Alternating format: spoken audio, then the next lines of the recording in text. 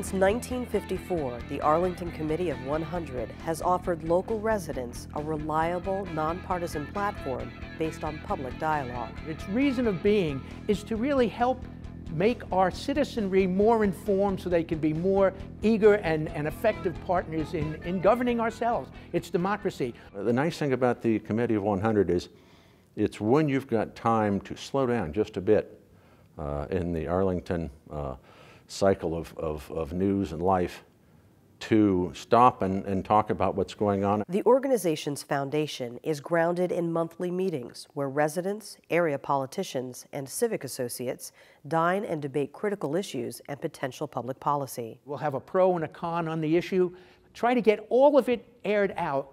If they're present, that's a good thing for them to hear. They're hearing uh, people who are knowledgeable about the issues discuss those issues, and it's a good source of input for them. I've just been proud to be part of the Committee of 100 for this time because I think we have been the one place where you could consistently rely on getting good information from honest and earnest people who would come and tell us about how things were.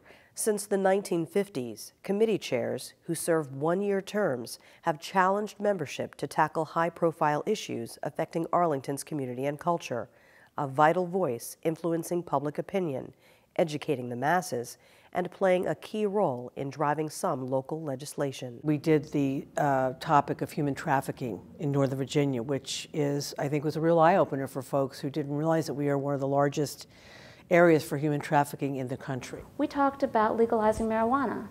And it was quite an interesting discussion because we had pros and we had cons and we had people in the middle and we had people who had benefited from clinical marijuana and others who really didn't think this was something that was right for Virginia. And we had a program on the new hot lanes that were being proposed and, and or now I suppose are built and that was quite a controversy if you recall the county entered a lawsuit against the state. It was on the question of whether Arlington should have uh, a baseball stadium because apparently the Montreal team was moving. The county, back in the late 60s, early 70s, saw that Metro was going to be a fact of life.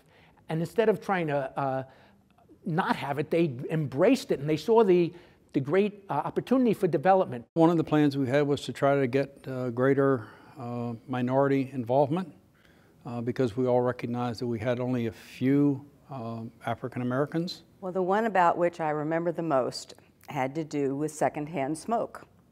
Now, in 1988, you were free to smoke anywhere you wanted. You could smoke in restaurants, you could smoke in schools, you could smoke anywhere. For much of the 2000s, Arlington's dealt with issues related to affordable housing, and that was certainly a big uh, topic during our year. As I recall, uh, we had a program on an innovative approach to solving the affordable housing uh, crisis, uh, having accessory dwellings uh, built on Arlington properties uh, using um, sheds, using garages. We addressed issues of housing for young people in Arlington.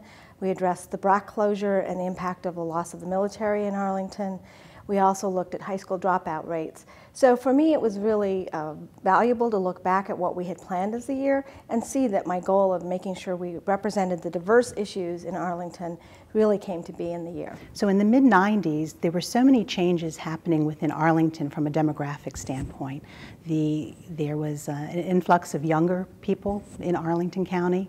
Uh, the community was certainly becoming more diverse from in a variety of ways, uh, from languages and ethnicity and races and whatnot. People cooperated, and there was a, certainly a very civil, civil uh, discourse and, and considerations. It was an effective forum without partisan rancor, without uh, conflicts. Certainly, opposite opposing opinions were presented but it was done in a very collegial environment. As polarizing partisan politics routinely stifle debate across the river, the Arlington Committee of 100 has civilly and progressively addressed hundreds of critical community issues, a proud tradition that's maintained by active membership and unique leaders. I had friends who were part of the committee who said, You've got to be a part of it, you've got to join, we want you, we need you. You hear topics that are of major interest to our community and also to our region. I said, what, what better deal is that? So I immediately signed up and, and uh, have been a member of the committee since then. We were the, the first that were co-chairs, and I think so far the only ones that have been co-chairs. Um, anyway, so, and then we've been on the board and stuff, and now I'm treasurer, so it's, we continue to be fairly involved. It's interesting. Um, I think we all often got involved because our predecessors had something to do with it. I think, frankly, that's probably one reason I was selected as chair. Uh, I was among the younger members of the committee at the time, if not the youngest member of the committee at the time. I like the concept of bringing people together. I like bringing people, all different ideas, all different backgrounds together and I think that's the way you work effectively in a community. And I think that's been the success. Each generation, it's their task then and their great opportunity to build that up and to build this democracy. We're still in the process now of building that. And the Committee of 100 is one of the real building blocks of democracy.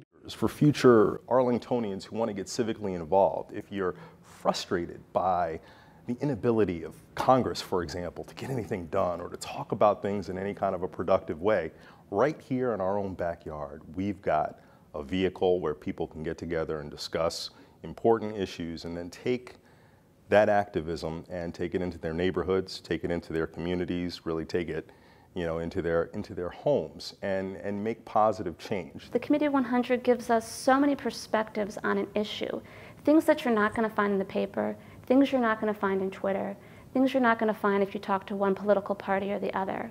And it gives you that wholesomeness that I think we need to make good decisions and keep Arlington moving forward.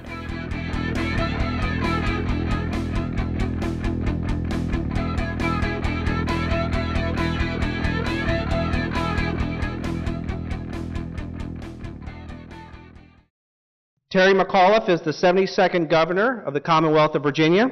Since being sworn into office, the governor has worked tirelessly to grow and diversify Virginia's economy and encourage more businesses across the nation and globe to locate in the Commonwealth. And I use that word tirelessly emphatically because if you know him, you know exactly what I'm talking about. As a testament to how hard he's working, just today, the governor announced that Shandong Tranlin Paper Company, a leading Chinese pulp and paper company, will invest $2 billion over the next five years in Chesterfield County.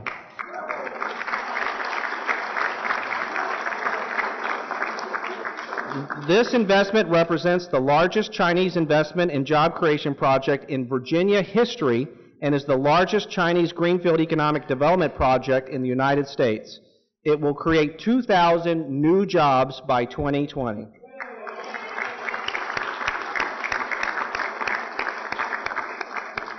In just over five months on the job, the governor's administration has made significant progress in building a stronger transportation infrastructure, taken steps to reform Virginia's education system, and has restored voting rights in, for more Virginians than any other governor during this same period of time. Now, as you probably all know, these are very trying times in Virginia politics and have never been more interesting than they are right now and the governor should be commended for working in a bipartisan way to help grow Virginia's economy, expand access to health care, and increase, increase educational opportunities for students. Please give me a warm Arlington Committee of 100 welcome to His Excellency, to the Commonwealth of Virginia, Terry McAuliffe. Thank you, buddy. Great to be with you. Thank you. Great to be with you, buddy. Good to see you. Great. Thank you, everybody. Thank you. All right, all right. Thank you. Let's hear it for Patrick Hope. Let's give our greatest introduction ever. Well, let me say, folks, I wanted to drop by and congratulate you on uh, the 60th birthday for the Committee of 100. I hear that you have been having monthly meetings, bringing folks from all political persuasions together to talk in a civil, common sense way. Any chance you come down to the House of Delegates for a couple days with me? but honestly, your vibrant discussions and bringing folks together, that's what it's all about. Uh, I thank Patrick for that great introduction, but really congratulations on all that you have done. Uh, as Patrick has mentioned, I have been very hard at work. I ran for governor. I ran on a platform of growing, diversifying the economy, opportunities for everyone. And I want you to know after about five months in office that I have done exactly what I promised you I would do. Within a half an hour being sworn in as the 72nd governor, I signed Executive Order Number One, which there will be no discrimination in the state workforce based on sexual discrimination. It will not be tolerated. Because in order to grow this economy, we got to make sure that we are open and welcoming to everyone. And I also, as you probably read in the newspaper two weeks ago, I was very unhappy uh, with some recent Board of Health decisions that were made about women's health centers.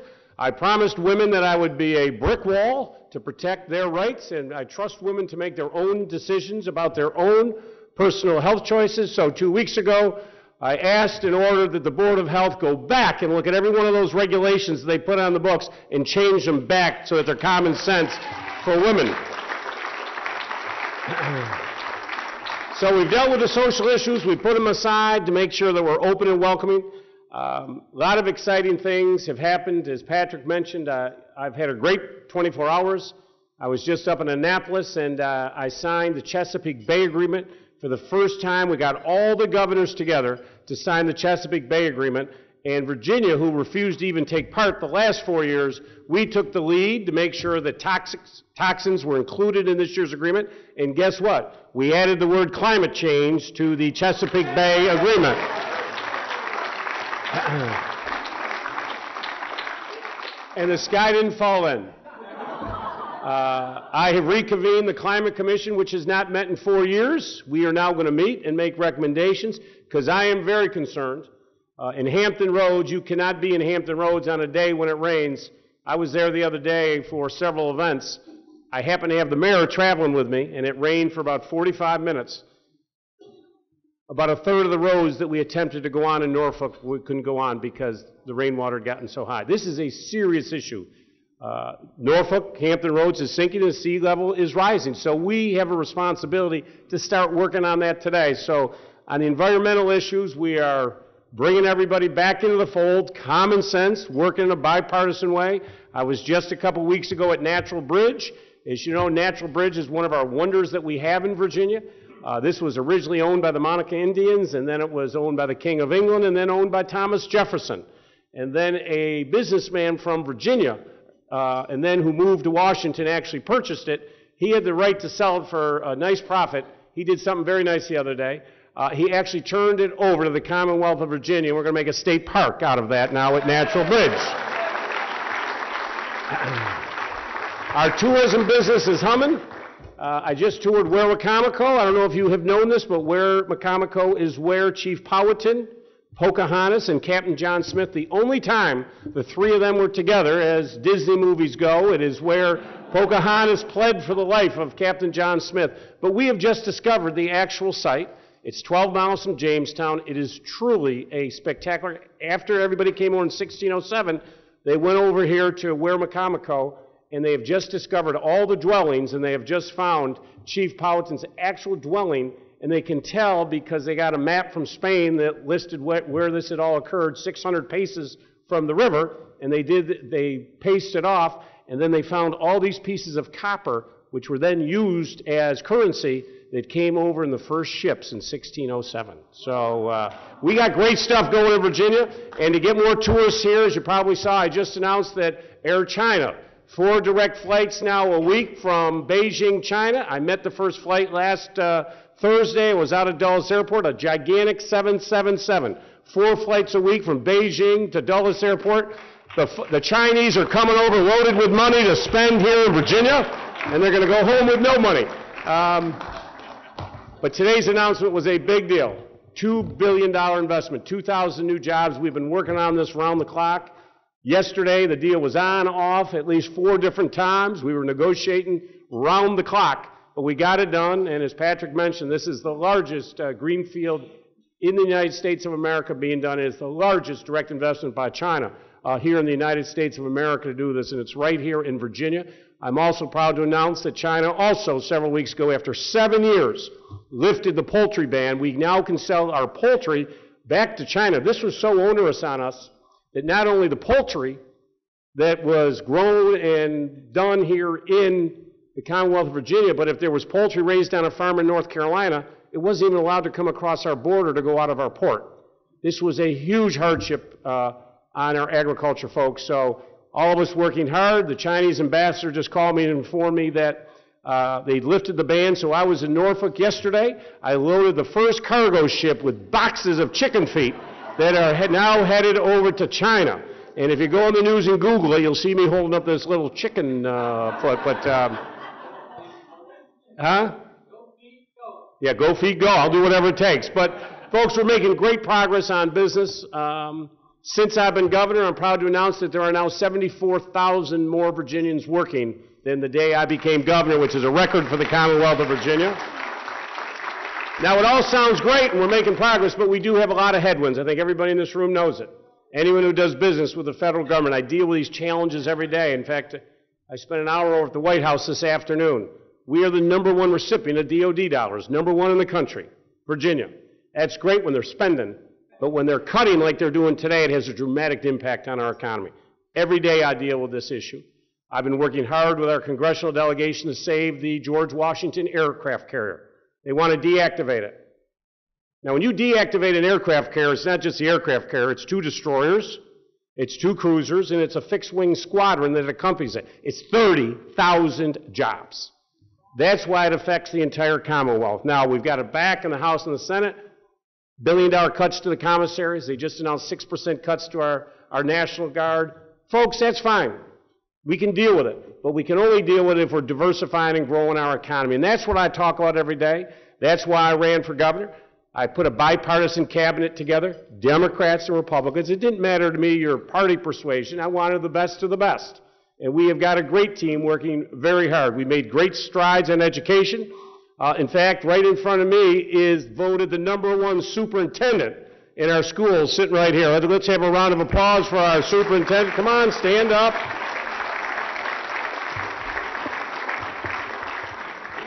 Don't we love Arlington? Okay. Uh, but we've made a lot of progress. I promised all of you I'd do something about the SOLs. Our children, let's be very clear, our children were taking too many tests. Our children were taking tests and then they're taking pre-tests to get ready for tests. Our children are becoming experts on taking multiple choice bubble tests. That does not create a 21st century economy. That does not get a children th- child thinking cognitively. We want to see the critical reasonings going on. So we've eliminated five tests in the grade through middle school, but more importantly, now have uh, our innovation task force to look at these tests. How do we find out creatively if they're actually learning? So we're making progress on the SOLs. I attended a meeting yesterday with a bunch of delegates and senators. We need to make sure that every child in the Commonwealth of Virginia has access to a pre-K education. Early education so Patrick and I are working on that. We got to get every child. Bob Brink, I talked to you the other day about it. Every child should be dependent on your parents' zip code or their financial condition. If you're going to build that 21st century economy, we got to teach those STEM courses earlier. I want every child when they go into kindergarten to get a Crayola book that says STEM on the cover. We got to get them excited earlier because we have a problem today. Today in Northern Virginia, there are 40,000 IT jobs that are not filled. 40,000. Those businesses will not wait forever to fill those jobs. Either we fill them or some other state will fill them. Over the next five years, 235,000 new jobs will be created in Virginia. 450,000 folks, nobody here, of course, is going to retire. That is three quarters of a million jobs in the next five years. That is our challenge. Fixing workforce development, tying skill sets to the jobs that exist today. I don't want our children getting out with a diploma and a lot of debt without skills. Let's tie the skills to the jobs, and that's what is the responsibility. Anne Holton, my Secretary of Education, working very hard on that. Transportation, as you probably have all seen, I've moved at warp speed. I got a great uh, Secretary of Transportation, Aubrey Layne, a great Secretary of Rail, Jennifer Mitchell, who we're all working on, I know, on various projects. But fixing our transportation, I've lived in Northern Virginia for over 21 years. I get it. You're stuck in traffic. You can't move your goods around. To go see your kids play a ball game in the afternoon takes three or four hours. Unacceptable. We have to unlock this region. We need to do it with rail, buses. Let's get people out of cars. Let's get them into ma- as much mass transit. And I'm hoping by the end of the month, we'll all be riding the Silver Line, folks, which will be great for everybody. but I just want you to know, I, I spoke to the CTB, uh, the Commonwealth Transportation Board, first time a governor's ever gone before the board to lay out my agenda. We're going to spend our money on roads. First, we're going to ease congestion. Number two, I want to see if there's an economic development component. We got to work with the local communities to make sure we're spending that money wisely. There are no longer going to be political roads. I don't care whose district these roads are in. If it doesn't make sense, we're not doing it. I stopped construction on Route 460. Everybody in this room should be outraged over that. We spent $300 million on a road with not a shovel being put in the ground. Now, let me tell you, when you build a new road and you go over 400 acres of wetlands, guess what? You need a permit to do that. But in order to get a permit, you have to apply. You have to fill out an environmental impact statement. None of that was done, folks. And we've already spent $300 million, and I don't know what I can get back. So I just want you to know that those days are over. Opening up between Richmond and Washington area to do what we can do on high, higher speed rail and high speed rail to get these cars off the road and what we need to do. We just need to move to the 21st century on a lot of our transportation projects. The last issue I do want to discuss, it's been in the news a lot. I have been very passionate about this issue, as have so many Virginians. I went through a week that I probably would find hard to describe. A longtime friend of mine, someone who stood at my side to say we got to close the coverage gap, and if we don't do it, Governor, I'm going to lose three hospitals. 20,000 of my residents will get coverage. Abruptly re- resigned from the Senate, taking control away and our ability to do a lot of the things that we had to do. But listen, we have to deal with it. Let me just make this simple on closing the coverage gap, folks. We're talking about providing health care for 400,000 Virginians. We have already paid for it. Wherever you may be on the health care bill, it's the law of the land. As of today, we have forfeited in Virginia $838 million. It is gone. We can never get back. Can you imagine $838 million running through our economy, creating 30,000 new jobs, health care for 400,000 Virginians, 12,300 veterans would get health care, $202 million a year for behavior health, issues on mental health. We are forfeiting all of that. And people ask me, why are you so passionate about the topic? Go with me to one of these hospitals and clinics. When these people look me in the eye with tears running down their face saying, Governor, I will be dead if you don't get this done. This is serious business for our Commonwealth. And I want to thank the delegates and the folks and senators who are here with me in this battle. This is not partisan politics. This is about people's lives. And I need your help. Make your calls. Call folks. We got to get this done. The most conservative governor in America, Michael Pence from Indiana, the other day took it. 27 states have taken it. Every one of our neighbors Maryland, West Virginia, Kentucky, Arkansas, all these states I compete against have taken this money back. Our tax dollars are now going to other places. It is fiscally irresponsible. I come from a business background. You've all heard my story. I started my first business when I was 14. My folks couldn't afford to send me to college. So I either got to work or I wasn't going to school. Got fortunate, ended up being our nation's youngest bank chairman at the age of 30. Started dozens of companies. I've been an entrepreneur my whole life. You get in that arena, you take risks, sometimes you fail, but you get back up the next day and you get back at it. Folks are counting on us to get back up and fight for them. So this battle, I want you to know, is far from over. So I thank you for what you have done here in Arlington and for the Commonwealth of Virginia. The idea that you can come together to discuss issues without people just absolutely going off the deep end on issues and coming up with a simple compromise. I always say that when I leave a negotiating table, I want everybody feeling good. Because if one side thinks they won too much, that deal will come back to you.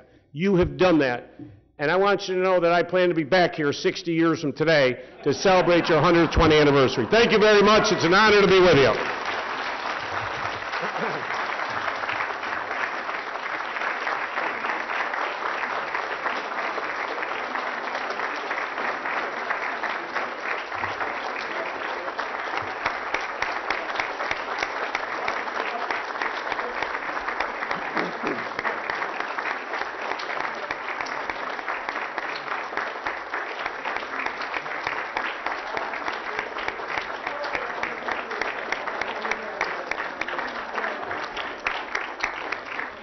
Thank you, Governor McAuliffe. Thank you so much. I think you can agree that he's one of the hardest working people in Richmond. So uh, with that, let me turn the program back over to our chair, Kim Klinger. Alrighty, everyone. So dinner will be served momentarily. Let's give the governor one more round of applause, please.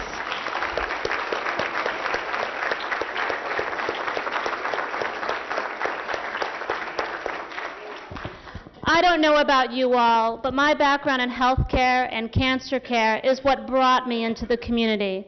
So we really do need to fight for those without health care, and I really do appreciate what folks like Adam Ebbin and Patrick Hope and the governor are doing for Virginia. One more round of applause, please.